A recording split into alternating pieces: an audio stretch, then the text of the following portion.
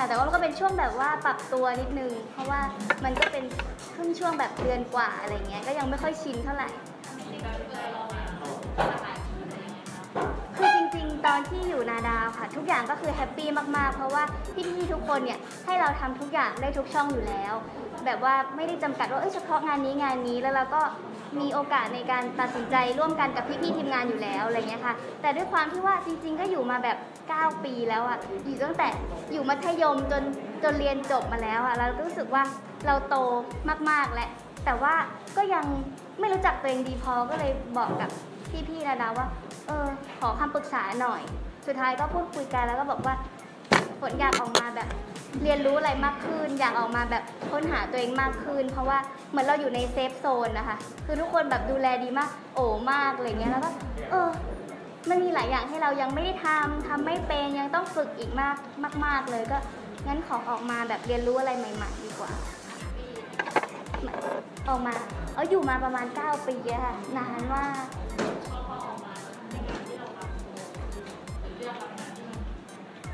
คืออาจจะด้วย เหมือน 2 ปีที่ผ่านมามันเป็นช่วงโควิด ก็ไม่ค่อยได้ทำงานอยู่แล้ว แล้วตอนนี้พอกลับมาปุ๊บมันก็มีงานที่หลากหลายขึ้น เพราะว่าเหมือนว่า production ต่างๆ เขาก็อั้นกันมานานนะคะ ว่าอุ๊ยงานนู้นงานนี้โปรเจกต์นู้นโปรเจกต์นี้เปิดไม่ได้ พอเปิดได้ปุ๊บเอองานมันก็เข้ามาเยอะขึ้นอะไรอย่างเงี้ยค่ะค่ะคือปกติเวลาจะรับงานเนี่ยก็จะต้องขอดูบทก่อน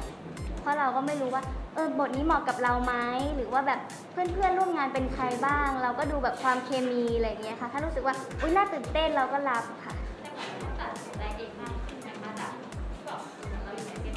ค่ะ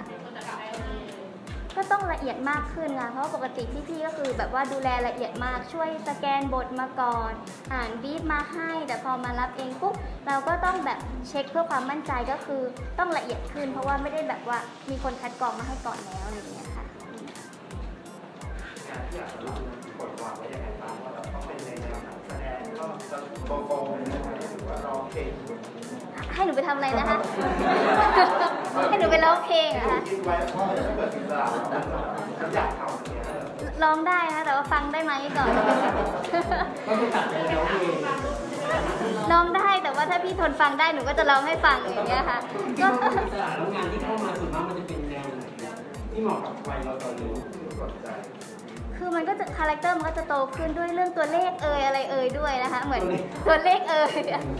มันก็มีงานที่โตขึ้นเข้ามาแล้วเออเป็นโอกาสที่ดีที่เราแบบได้ปรับตัว ซึ่งจริงๆมันก็เป็นเรื่องยากเหมือนกัน เพราะว่าคนก็จะชินว่าเรามีภาพลักษณ์ประมาณนี้ตลอดเวลาหลาย ๆ ปีที่ผ่านมาพอมันต้องก้าวกระโดดอะไรเงี้ยก็จะยังมีคนที่แบบว่ายังไม่เข้าใจหรือยังไม่อิน ซึ่งนั่นก็เป็นหน้าที่ของเราที่จะต้องแบบทำให้เขาเชื่อให้ได้นะคะ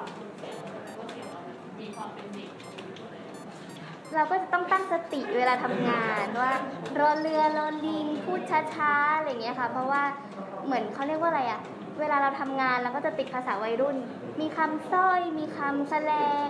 ซึ่งพอแบบบทเนี่ยมันก็จะค่อนข้างจริงจังเป็นทางการ หรือบางทีต้องเข้ากับพี่ๆรุ่นใหญ่อะไรเงี้ยเราก็ต้องตั้งสติจูนก่อนทำงานว่า โอเค มันหนึ่งสองสามสี่เราควรจะทำอะไรอย่าแบบ อย่าเอาคำที่เราใช้ประจำไปใช้ในที่ทำงานอะไรเงี้ยค่ะ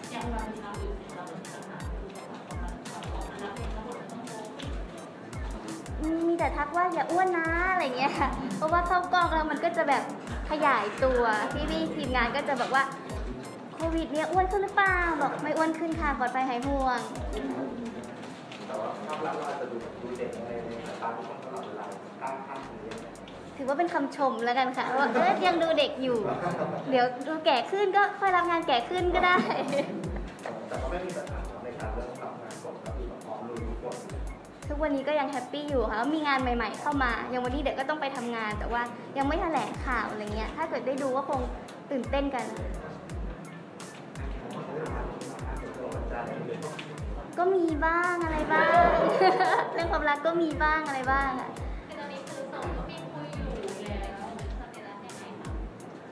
คุยกันอยู่แล้วก็ประมาณนึงอะแบบรู้จักกันอยู่อะไรเงี้ยค่ะ แต่ไม่เจอหรอกไม่มีอะไรเลยในนั้นไม่ไม่ได้แบบเปิดเผยอะไรค่ะใช่ไม่มีรูปหรือไม่เจอแล้วกับรอบนี้มันเป็นยังไงบ้างมันแบบมันมันโตขึ้นไหมครับมันมองความรักมันเปลี่ยนไป ปลี่ยนไปไหมเหรอ คือเราก็เป็นเราเหมือนเดิมค่ะ เราก็มีความรู้สึก มี moment ที่เราชอบแล้วก็เหมือนไม่ว่าจะมีใช่ไหมคะเวลาเรามีคนใหม่เข้ามาอย่างเงี้ย เราก็ไม่ได้ไปนั่งเทียบกันว่าครั้งนู้นเป็นยังไง ครั้งนี้เป็นยังไง คือเรารู้สึก happy เราก็ happy กับคนคนนอกวงการนอกวงการเออหนูไม่เคยคบคนในวงการเลยหรือต้องลองเอ้ยได้เหรอ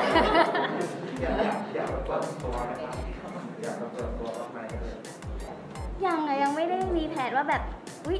จะแบบเปิดเผยหรือจะไม่เปิดเผยคือ รู้สึกว่าไม่ได้ตั้งใจไว้ว่าเฮ้ยเราจะปิดนะหรือแบบเอ้ยเดี๋ยวจะเปิดคือมันแล้วแต่ feel อะค่ะแบบว่าวันหนึ่งเรารู้สึกว่าเรา happy ที่อยากจะให้ให้ทุกคนรับรู้เราก็อาจจะแบบเออมีอะไรให้ดูกัน แต่วันนี้เราก็ยังไม่ได้ไม่ได้คิดอะไรไว้อะไรนะคะไม่น่าเจอนะน่าจะยากค่ะไม่ได้ค่ะ แบบว่าไม่ได้ทำงานในวงการอยู่แล้วด้วยก็มูมีมนุษย์หลายร้อยล้านคนถ้าทางจะเสิร์ชกันเหนื่อยเลยนะคะแต่คนมีไปรู้จักกันไหมเพื่อนของเพื่อนค่ะเป็นเป็นโปรฝากไหมครับหรือว่าแบบใกล้ๆใกล้ใกล้ๆกันๆมีคำใบ้ให้นะใกล้ๆใกล้ๆใกล้เดี๋ยวน้องเกิดจะบอกให้ฟังก่อนๆบอกชื่อย่อไม่ได้แล้วที่เราทำให้เรารู้สึกว่าการที่เราคุยกับใครไม่ได้ คือปกติเวลาหนูจะแบบคุยกับใครอะคือต้องรู้จักกันก่อน จะไม่ชอบให้คนแบบเดินเข้ามาจีบหรือแบบไม่รู้จักกันเลยแล้วมาจีบอะไรเงี้ยก็จะไม่คุย มันก็เลยรู้อยู่แล้วว่าเออใครเป็นยังไง แล้วมันค่อยแบบว่าเพิ่มเลเวลกันไปก็คือจะไปเดิมๆตีอุ้ยจริงๆไม่ได้ชอบหนุ่มตีนะ หน้าตาดีก็โอเคหมดแหละ